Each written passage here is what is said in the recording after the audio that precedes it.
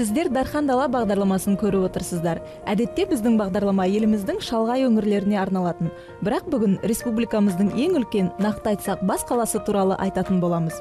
Бүгінгі бағдарламада қыс мезгіліндегі ең сүйікті мерекені қазақстандықтардың қалай қарсы алатыны және мұндағы мейрам күндерінің күнтізбесі мен бізге мерекелік көңіл күйді кімдер сыйлайтыны туралы баяндамақпыз.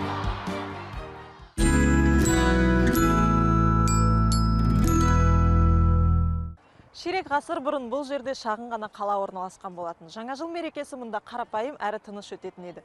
Бүгінде зәулім ғимараттары аспанмен таласқан астананың шамдары тіпті ғарыштан көрінеді десе болады. Сонымен бүгін жаңа жыл мерекесінің астанада қалай өтетіні туралы баяндайтын боламыз. Дархан дала бағдарламасы астанада. Астанадағы мереке күндері айтарлықтай елеулі оқиға. Қалалық мәдениет басқармасы бір жылдың ішінде шамамен сегіз жарым мыңнан аса іс шараларды ұйымдастырады. Олардың алпыс пайызы қыс мезгіліндегі шаралар. 2014 жылдың қорытындысы бойынша әртүрлі мәдени ойын сауық іс шараларды шамамен 2 миллион 8 мың көрермен тамашалаған. Мерекелік іс шараларды тамашалаудан бұрын олардың қалай дайындалатынын білу үшін астана қаласы мәдениет басқармасының басшысымен кездестік. Болат бауыржанұлы қаланы мерекелік безендірудегі биылғы жылғы басты ерекшелік мұз қалашықтарына тоқталып өтті. Жалпы осы мерекеге дайындық қалай өтіп жатыр? Енді қазіргі таңда бәрі жасалынды. Э, биыл біз осы жаңа жылға э, дайындығымыз ерекше болған. Өйткені астанамыз астана болғаннан кейін осы біздің ауа райына қарағанда э, бізде қыс сегіз немесе жеті ай болады. Соны иә ұзақ қыс. Сонымен біз жалпы халыққа осы астанаға келген қонақтарға әртүрлі іс шараларын ұйымдастыру үшін біз қытай елінен харбин қаласынан мұз мұз салатын дизайнерлерді шақырдық. Жетпістен астам иә жетпістен астам адам келген бізге. Жалпы соны жасауға біз 210 адамды пайдаландық. Мұз қалашықтарынан басқа астана әкімдігі ақпанның соңына дейін өтетін 200-ден аса іс шараны ұйымдастырған. Ал мәдениет мекемелерінде 15 қаңтарға дейін жаңа жылдық ертеңгілік қойылымдар болады. Думан ойын сауық орталығында біз осындай қойылымдардың біріне тап болдық.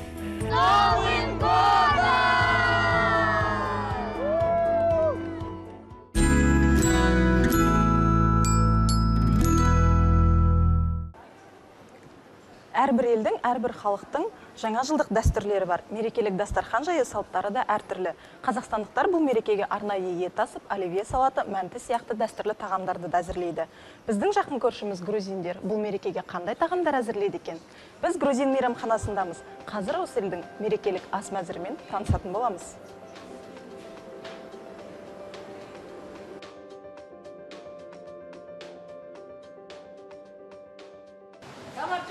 Камаджабад. Камаджабад. С праздником вас. Вас тоже с праздником. С праздником. Кавказ халықтарының жаңа жылға дайындайтын ең сүйікті тағамдары қандай?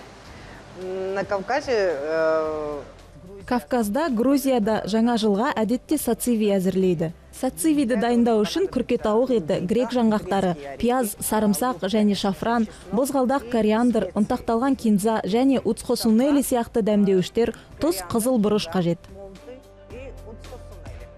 бас аспаз екатерина грузин халқының ғасырлар бойы өзгермеген жаңа жылдық салттары мен ырымдары туралы айтып берді. Мысалы осы мерекеде достас халықтың дастарханына міндетті түрде қойылатын казинак чурчхела және пастиланың дәмін татуға болады. Ну встречать новый год. Жаңа жылды жаңарған күйде қарсы алу керек. Жаңа жылдан кейін үйге бірінші кішкентай ұл бала кірсе ырыс береке қоса келеді деп саналады. Дайындау тәсілі бойынша сациви тұздығы 8 сағаттай тұрып етке сіңуі тиіс. Бірақ біз қазір телевизия сиқырын қолданып ғажайып монтаж жасаймыз. Мм иісі мұрын жарады.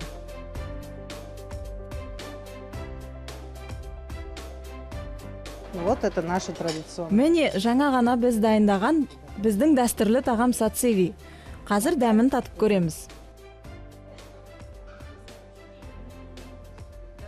С праздником вас.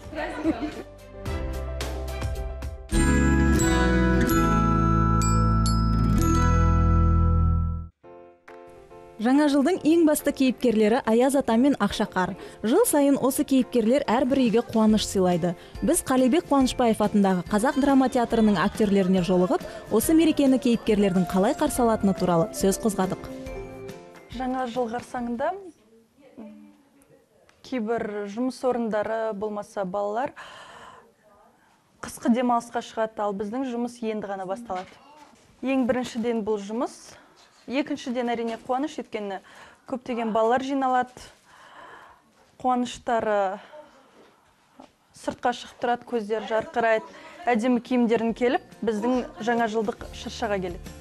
Аяз ата мен ақшақар өтіп бара жатқан қой жылын қойылымды тамашалауға келген кішкентай бүлдіршіндермен бірге шығарып салуға дайын.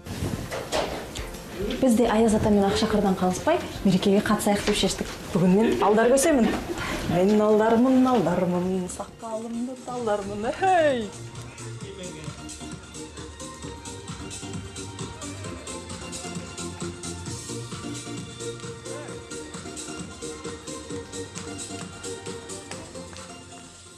балалар мені бір жыл бойы күтеді.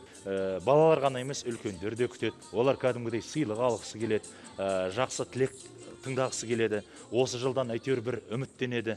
Ескі жылда болмай қалған орындалмай қалған мақсаттары болатын болса сол осы, осы жылда орындалсын деп. Сол аяз атаның аузынан шыққан тілекпен ғана орындалатын сияқты сезімде болады. Жылдағы өзімнің әдетім желтоқсан айының жиырмасынан бастап өзімнің үйдегі аяз атамның киімін киіп кәдімгідей гримімді жасап өзімнің ауламда тұратын үйдің ауласында жүрем. Көшеде жүресің ә, балаларды құттықтайсың. Қане бәріміз бірге бізбен естелік суретке түсуге қуана келіскен аяз атамыз қазақ драма театры актерлерінің бірі болып шықты. Ал бұл мен болатынмын.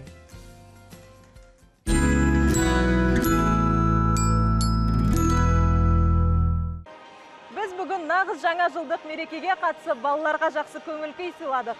Тіпті мерекелік тағам да әзірледік. Енді белсенді іс қимылдың кезегі келді деп ойлаймын. Қаламызда осындай тамаша ала мұз айдынының болғаны қандай жақсы? Меңгеру деңгейіне қарамастан барлық жастағы адамдар конькимен сырғанай алады. Мұнда жаңа келген адамдарға сырғанаудың негізгі тәсілдерін үйрететін стюардтар жұмыс істейді. Нас со 2 по 10 екінші қаңтардан бастап 10 қаңтарға дейін осында жаңа жылдық марафон өтеді.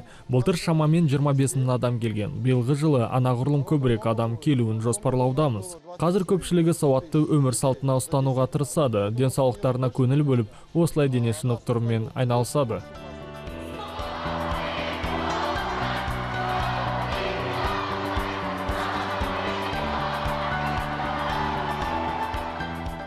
Жасанды мұз айдыны тамаша екен. Мұнда әлі талай келермін. Әзірше таза ауада серуендеп табиғи сырғанаққа барып көрейік. Жазды күні еркелей ағатын қазірде мұз құрсанған есілдің жағасына барайық. Арқаның ақтүтек бораны мен аязына қарамастан астана халқы мен қонақтары мереке күндерін міне осылай көңілді өткізуде мереке күндері еліміздің бас қаласы ерекше сұлу. Жаңа жылдық әшекейлерді молынан тағынып жарқыраған шаһарымыз көңілге өзгеше қуаныш сыйлайды. Көз қарықтырған әсем шамдардың жарығына адамдардың бақытты жүздеріне сүйсініп түнгі астанада арқаның аязына бетіңнен сүйгізіп серуендеген қандай жақсы. Бейне бір ертегі әлемінде жүргендейсің жаңа жылда армандар орындалады дейді. Олай болса дәл осы жерде ең асыл арманымның орындалуы үшін тілек тілейін жаңа жылдық іс шараларды тамашалап көшеде жүріп жаурап қалсаңыз осындай жабық аялдамалардың біріне кіріп жылынып алсаңыз болады. Айтпақшы күткен көлігіңіз келгенше 24 kz арнасының сайтынан біздің бағдарламаны тамашалау үшін мұнда Wi-Fi-ды қолдануға мүмкіндік бар.